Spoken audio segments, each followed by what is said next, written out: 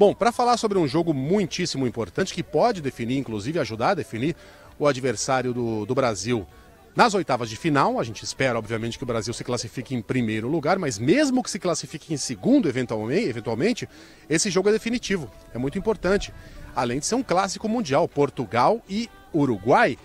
Camarão, tô exagerando de chamar Portugal e Uruguai de clássico mundial? Acho que não, né? Um time que já teve Eusébio, que tem Cristiano Ronaldo e do outro lado um bicampeão mundial, são gigantes, né? Bom dia. Tudo bem, Megali? Bom dia a você, a todos que nos acompanham no Brasil, mundo afora também pela nossa live. Um jogo grande, inegavelmente, né? São duas seleções uh, importantes. Portugal uh, sem ter uma conquista de Copa do Mundo, mas Uruguai sim, e, e tem uma história, especialmente representando o futebol sul-americano, muito bonita, uh, expatriando muitos atletas mundo afora, uruguaios que fazem de fato sucesso nas principais ligas do velho continente. E esse confronto pelo Grupo H pode gerar a classificação portuguesa em caso de vitória. Portugal vencendo, estreou com 3 a 2 para cima de Gana com destaque para o Cristiano Ronaldo, marcando gols em cinco mundiais consecutivos.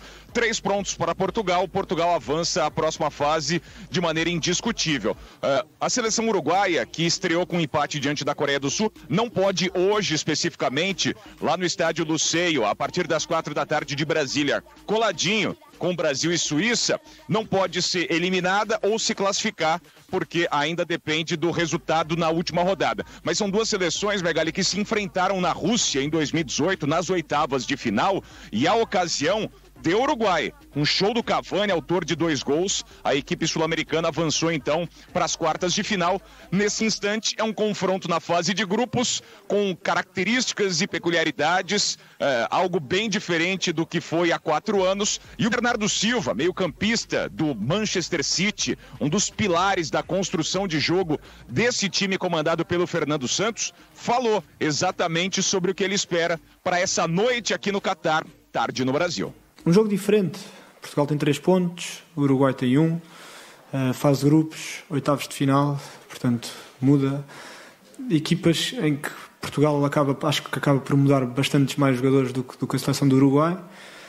Uh, e uma seleção difícil, muito agressiva, uma seleção que, que contra-ataca muito bem, que, que se erras, que, que explora ao máximo todo esse tipo de situações e, e vamos estudar da melhor forma a seleção do Uruguai para, para respondermos bem dentro de campo e para, e para ganharmos mais três pontos e conseguirmos a qualificação para os oitavos, que é o que nós queremos. A busca pela qualificação às oitavas, o Bernardo Silva falando, ele não vai contar com o companheiro dele, o Danilo Pereira, zagueiro, está cortado da Copa do Mundo, sofreu uma fratura, lesão importante, não joga mais a serviço da seleção lusitana. Do lado do uruguaio, Megali amigos, questionamento ao Diego, Alonso. Por que, que o Arrascaeta não joga? Por que, que o craque do Flamengo e do futebol brasileiro tem minutos? Ninguém sabe responder. Impressionante, né? Você vai no jogo do Uruguai e não vê o Arrascaeta em forma, prontinho para entrar, 100%, não ser escalado em jogos que o Uruguai não consegue nem marcar gols. Não, tá com, não é que o Uruguai está se impondo maravilhosamente, como na época do Francesco, que goleava todo mundo, tinha um ataque insinuante. Não é mais assim. Como é que o Arrascaeta não entra nem no segundo tempo? Bom, enfim, gente. Jogos de amanhã, só para vocês anotarem aí na sua agendinha, como eu disse, não tem mais esse horário de 7 da manhã e 10 da manhã. Agora é meio-dia, meio-dia, tem dois jogos: Equador e Senegal, Holanda e Catar. Definição do grupo A. Só o Qatar não tem mais nenhuma chance. Depois, às é, 6 horas da tarde, mais uma vez horário brasileiro, 6, 7, 8, não, não, às 4 da tarde. 4 da tarde, 22 horas horário catariano, 16 horas no Brasil, tem Gales e Inglaterra, Irlanda e Estados Unidos. Então são esses os, os novos horários da Copa do Mundo e assim será até a final no dia 18 de dezembro. Uma notícia rápida: o lateral esquerdo da Arábia Saudita, Yasser Al-Sharani, vai passar por uma nova cirurgia. Ele sofreu várias fraturas no rosto depois que levou uma joelhada na estreia contra a Argentina. Não, uma imagem horrorosa. Uma joelhada do goleiro Alvaz na, na estreia da Copa do Mundo.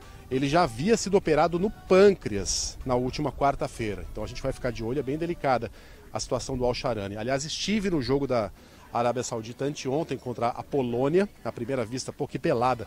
Ah, ah, talvez seja a experiência mais interessante dessa Copa do Mundo até agora acompanhar um jogo da Arábia Saudita, porque eles vão, eles estão aqui em grande número, todos os é, habitantes de países da região torcem para a Arábia Saudita, que é uma referência né, geopolítica aqui local, é, lotam o estádio, torcem como torcedores de verdade, tem gritos de guerra, se desesperam, cantam o tempo todo, fazem ola, não tem nada a ver com o torcedor catariano que não tem muita intimidade com o futebol, não. Esses caras gostam, gostam mesmo da bola.